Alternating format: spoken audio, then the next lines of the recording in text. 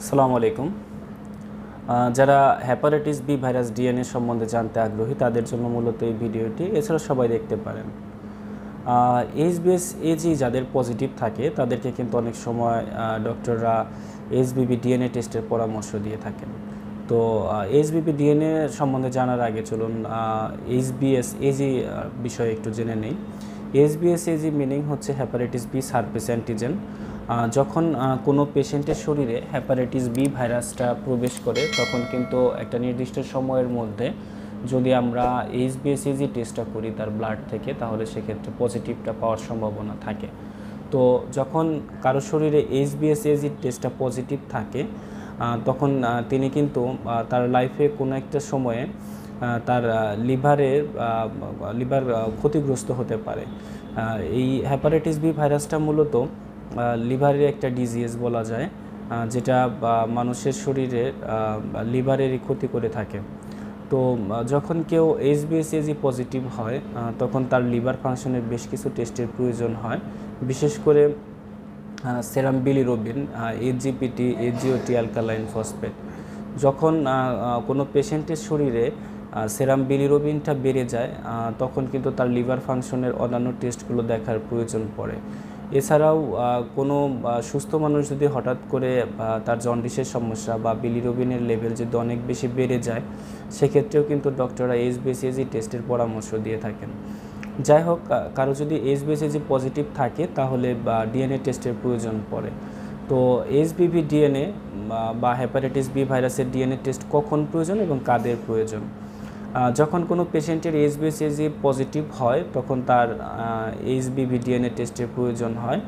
HBV DNA টেস্টের প্রয়োজন হয় মূলত পেশেন্টের শরীরে হ্যাপাটাইটিস বি ভাইরাসটা কী অবস্থায় আছে সেটা জানার জন্য।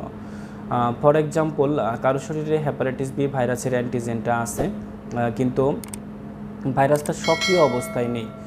তাহলে কিন্তু তার লাইফস্টাইলটা মোটামুটি একটা ইয়ের মধ্যে রেখে সুন্দর একটা লাইফস্টাইল সে লিড করতে পারে। কিছু কিছু জিনিস ওনার অ্যাভয়েড করতে হবে। কিছু বিষয় তার অ্যাভয়েড করতে হবে। যেমন কাউকে ব্লাড দিতে পারবেন না কারও ব্যবহৃত সুচ উনি ব্যবহার করতে পারবেন না, বা ওনার ব্যবহৃত শুজ অন্য কাউকে ব্যবহার করানো যাবে না। বা সেলুনে বা তার শেভ হওয়ার ক্ষেত্রে বা বিভিন্ন যেখান থেকে আসলে হ্যাপাটাইটিস বি ভাইরাসটা ছড়িয়ে পড়তে পারে সেই ধরনের কাজ করা যাবে না।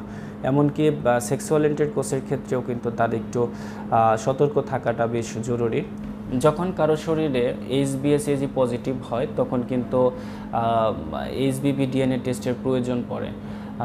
যে হ্যাপাটাইটিস বি ভাইরাসটা তার শরীরে সক্রিয় অবস্থায় আছে নাকি নিষ্ক্রিয় অবস্থায় আছে? যদি সক্রিয় অবস্থায় থাকে, তাহলে তার কিছু পরামর্শের প্রয়োজন হয়। আর যদি নিষ্ক্রিয় অবস্থায় থাকে, তাহলে সে মোটামুটি একজন সুস্থ মানুষের মতোই চলাফেরা করতে পারেন। কিন্তু বছরে অ্যাটলিস্ট দুইবার উনি চেক আপ প্যাথোলজিক্যাল বিভিন্ন চেক আপ করে উনি দেখতে পারেন যে কোনো সমস্যা হচ্ছে কিনা।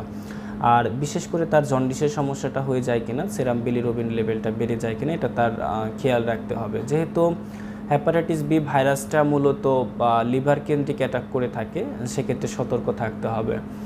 যদি এইচবিবি ডিএনএ টেস্ট কেউ করাতে চান সেক্ষেত্রে রিপোর্টের মধ্যে আমরা যে জিনিসগুলো দেখতে পাবো, সেটা হচ্ছে ডিটেক্টেড অথবা নট ডিটেক্টেড এখানে ডিটেক্টেড বলতে যেটা বোঝায় সেটা হচ্ছে ভাইরাসটা সক্রিয় অবস্থায় আছে আর নট ডিটেক্টেড যেটা বোঝায় সেটা হচ্ছে নিষ্ক্রিয় অবস্থায় আছে। যদি সক্রিয় অবস্থায় থাকে তাহলে অবশ্যই আপনার একজন লিভার বিশেষজ্ঞ ডক্টরের পরামর্শ নিতে হবে। যদি আহ, যদি এইচবিএসএজি পজিটিভ হয় সেক্ষেত্রে তো অবশ্যই একজন ডক্টরের আন্ডারে থাকতেই হবে। আর এইচবিভি ডিএনএটা যদি পজিটিভ বা ডিটেক্টেড যদি হয় তাহলে সেক্ষেত্রে অবশ্যই অ্যাজ সুন অ্যাজ পসিবল ডক্টরের পরামর্শ নিতে হবে।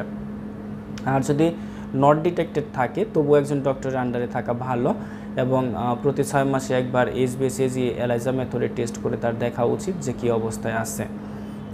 এমনটা হতে পারে যে একটা নির্দিষ্ট সময় পরে হ্যাপাটাইটিস বি ভাইরাসটা অটোমেটিকলি তার শরীর থেকে চলে যেতে পারে, অর্থাৎ নেগেটিভ হয়ে যেতে পারে। তো কেউ যদি হ্যাপাটাইটিস বি ভাইরাস সম্বন্ধে আরও জানতে চান কমেন্টস করে জানাতে পারেন। আর যদি কেউ টেস্ট করাতে চান, তাহলে কোথায় গিয়ে কীভাবে করাবেন, সে বিষয়ে যদি আরও জানার জন্য আগ্রহী থাকেন, তাহলে সেক্ষেত্রে কমেন্টস করতে পারেন। আমি ডিসক্রিপশন বক্সে কন্ট্যাক্ট নাম্বার দিয়ে দেবো এবং ভিডিওতেও দেওয়ার চেষ্টা করব। সেখানে আপনি হোয়াটসঅ্যাপে নক দিয়ে আমার সাথে থেকে আরেকটু ডিটেল জেনে নিতে পারেন। আর হ্যাঁ অবশ্যই হোয়াটসঅ্যাপে টেক্সট করবেন বারবার কল দিবেন না। যারা এতক্ষণ সঙ্গে ছিলেন, সকলকে অসংখ্য ধন্যবাদ। ভিডিওটি ভালো লাগলে একটি লাইক দিয়ে শেয়ার করতে পারেন বন্ধুদের সাথে। আর যদি আমার চ্যানেলে নতুন হয়ে থাকেন, তাহলে please hit the subscribe button for more videos thank you so much সালামু আলাইকুম